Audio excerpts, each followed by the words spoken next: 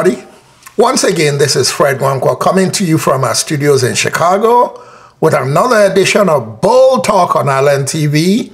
And as usual, I like to say good morning, good afternoon, and good evening to you, depending on where you are around the world.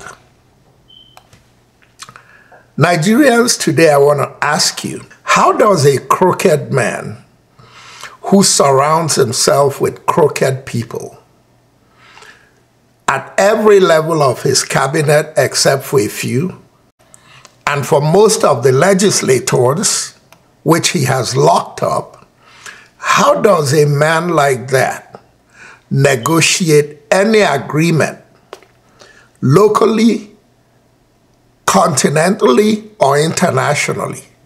How does he negotiate any agreement in the interest of Nigerians. It's a miracle to me that this man remains the president of Nigeria. mo béèrè títí wọn jíṣẹ́ fún ẹni. àníṣe irọ́ ló ń pa o owó ló ń wá yẹn. folks irọ́ ló ń pa yẹn owó ló ń wá yẹn.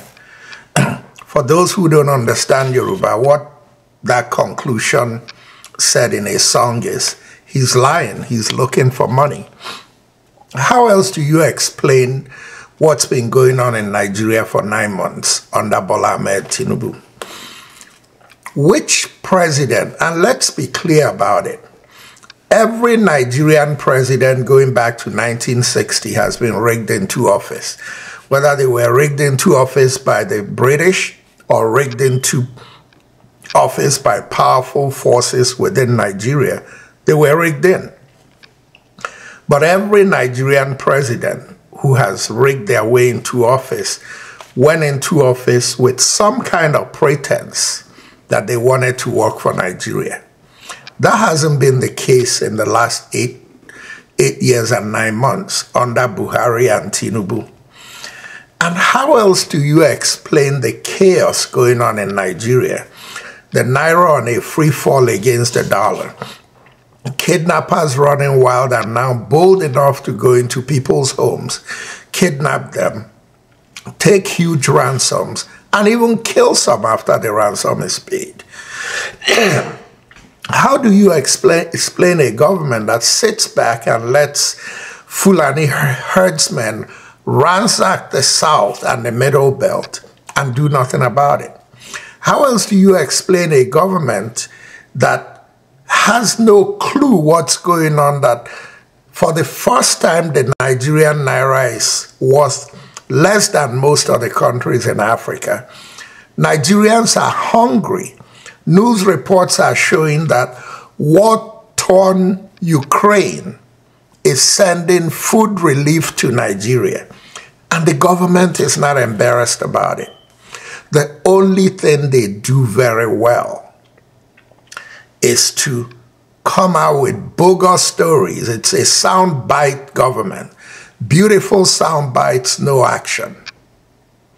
How else do you explain it except that it's the only governments that work like this anywhere in the world are governments with two agendas or one of two agendas. One is to steal money, don't give a damn what happens to the people.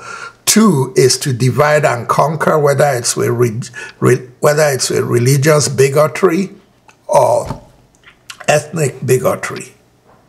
Folks, Nigeria is going downhill. If Nigerians don't fight, Bola Ahmed Tinubu doesn't care. The cronies around him don't care it is Nigerians that are going to be spread across Africa and into the Mediterranean as refugees looking for somewhere to go. Where, where is the Obidient movement? Where is the PDP opposition? Forget about Labour Party. That was a cooked up thing with one strong candidate emerging, but in terms of structure, Labour Party is no real opposition. But at least Peter Obi is a highly respected Nigerian, Labour Party or no Labour Party. Where is the opposition? Where is the where are the Obidients? Where are the progressives? Where is a revolution? The power of the people cannot be less than the power of a crook. We the people, we the people of Nigeria can take our country back if only we can unite and forget tribalism and bigotry and face the most critical thing facing Nigeria, which is a man who is, whose only intent is to steal everything he can steal worth anything. In the last few episodes, I brought you something about what Bola Ahmed Tinubu and his cronies have done with OPL 245, which is the biggest oil block in Nigeria that has been under dispute under so many presidents. A few weeks ago, Bola Ahmed Tinubu went to France, not on official business, on personal business. And what he went to do in France was to resolve the dispute of OPL 245, the oil block. And when it's all said and done, that oil block is now controlled by his brother who runs um, Oando Oil Company. So what this man went to Asha to do is to build up wealth beyond comprehension. And with all that wealth, if Nigerians let him sit there and succeed in doing that over the next four years, forget Nigeria. Nigeria is finished. To buttress that point and try to understand and comprehend what I'm trying to say here, listen to the commentary that the next narrator is going to tell you about the continued Bola Ahmed Tinubu involvement in corrupt practices to milk Nigeria and siphon funds.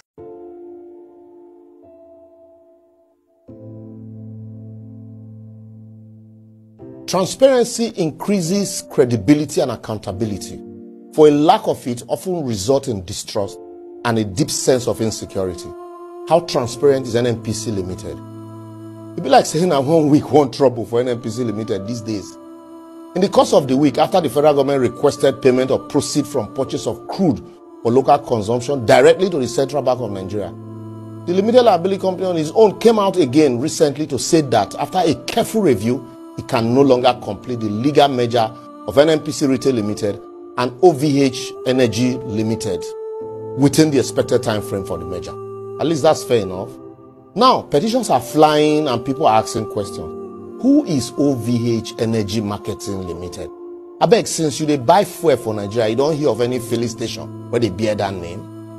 Well, them say OVH Energy are operators of Oando filling station, which include a reception jetty with 240,000 metric tons monthly capacity, though, eight liquefied petroleum gas plant, three low bl- blending plant, three aviation depot, and 12 warehouses. The allegation be say NNPC paid a cash amounting to 325 million dollars. That's 140 billion naira for the acquisition of Oando branded retail filling station managed by OVH. But some of the acquired assets are alleged not to belong fully to OVH. Them say, them say, oh, so OVH Energy only has about 94 filling stations and over 100 filling stations were leased. I beg, lawyers, I won't ask now. Do you sell what you leased? Can you sell what you leased?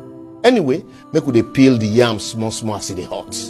Now, the shwashwa inside the matter be say, Noel Oil, Noel Oil Limited was registered and incorporated in Nigeria around February 2023. And within eight months, they bought OVH Energy free of charge, as there are no documents to show that money exchanged hand for the sale of OVH within few weeks of that purchase. NNPC in October 2023 bought OVH Energy from Noe Oil for 140 billion. And the owners of Noe Oil also are alleged to be consultant to be NNPC. So the question now be say, Ov- uh, Noe Oil bought OVH for free and then NNPC bought it for 140 billion. The question, who valued the company? Now the answer we see the wait since morning or we see the here. Just like the 2.4 billion illegal obligation when people they collect for CBN until the CBN, new CBN governor did a forensic audit. Now, instead of NNPC Limited running the business of OVH, now OVH they run the business of NNPC retail. As even Mr. Stockman, an expatriate and former executive officer of OVH Energy, emerged as the new managing director of NNPC retail. Oh boy, things they happen for this country, sha. Even though the merger has not been completed, oh, according to NNPC, OVH is still trading in their name, but he already running NNPC retail while collecting product in the name of OVH and spending proceeds from that transaction to run their own operation while sidelining NNPC staff saying the transaction had not been completed.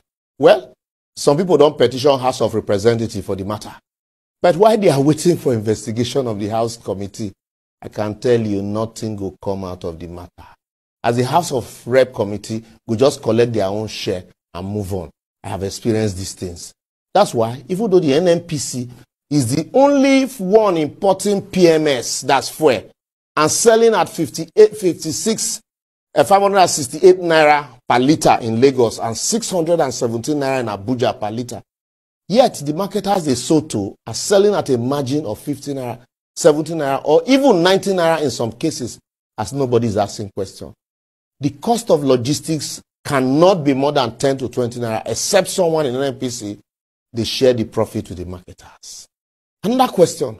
Why is it that since the time of Mekanti Barrow as GMD of NNPC to date, that Mele Kyari is, is at the end of affair? We can't account for how much we have spent so far in exploring oil in the Chad Basin? What is the value of our collective fund that have been expended therein and what are the benefits and results? Are the financials in compliance with regulatory carbon energy policies in the country? Another question. Now that NNPC is a private entity whose resources are borrowed are not subject to the scrutiny of the National Assembly, who is regulating NNPC? Yes, guys, who is regulating NNPC? Who is regulating the president? Who is regulating the courts? Who is reg regulating the legislator? Where are Nigerians? Where are the Obidients? What's going on with PDP? Where is Abubakar Atiku? Where is the opposition politics in Nigeria? We are losing our country by the minute, not by the day. Bola Ahmed Tinubu is running Nigeria with impunity. Just the way he ran and destroyed Lagos with a lot of white elephant projects that makes the cosmetics of Lagos look beautiful until you start inspecting the infrastructure in Lagos and going into the ghettos of Lagos that Bola Ahmed Tinubu has supervised for 24 years. Lagos is a ghetto. Nigeria is becoming a jungle. Nobody cares what's going on with the people. The herdsmen are running wild. Kidnappers are running wild. Nobody is regulating anything. Only thing the leaders we have at every level are concerned about is stealing, stealing, and siphoning funds away. This country is salvageable, but this country is not salvageable if an internationally reputed drug dealer is just going to come in, an uneducated guy, drug dealer, is going to come in with his cronies and the crooks he surrounds himself with, and Nigerians are scared to die. Nigeria is not going to change unless Nigerians stand up and fight for their country. Ladies and gentlemen, once again, this is Fred Nwankwo coming to you from our studios in Chicago with another edition of Bull Talk on Allen TV. And until next time, Good night and God bless.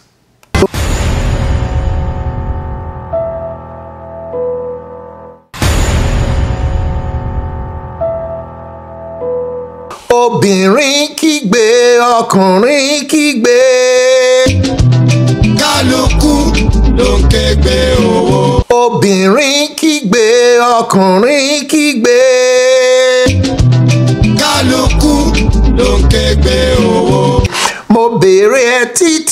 Wọn jíṣẹ́ fún ẹni.